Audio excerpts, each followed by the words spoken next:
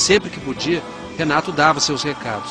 Fascistas são pessoas que não deixam vocês pensarem do jeito que vocês querem. Cuidado com esse povo que fala em nome de Deus e quer seu dinheiro. Jesus não cobra ingresso. Legião cobra.